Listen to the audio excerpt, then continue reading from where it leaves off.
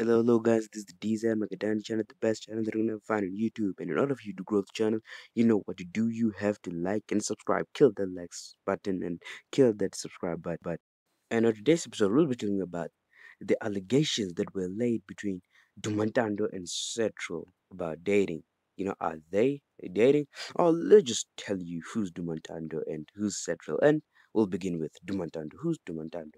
Duma Ntando is a South African actress and television personality. She is best known for presenting.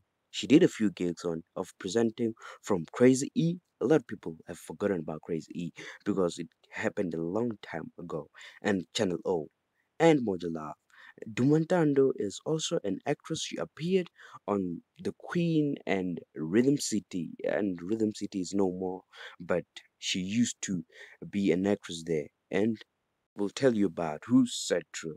Uh, Sir Trill. Yeah, some of us know him as the Ma- Amapiano singer. Yeah, Sir Trill is a famous South African singer, producer, rapper, songwriter, music composer, Instagram star, and entrepreneur.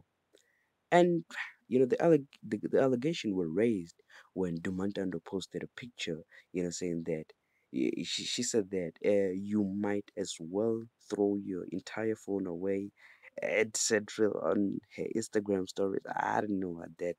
I don't, I don't know why she what she meant. I, yeah, I we don't, we don't know, but we we we're just thinking that maybe they're dating on. Or maybe they're not. But this is the DZ McDan channel. You know what to do. You have to like and subscribe to grow the channel.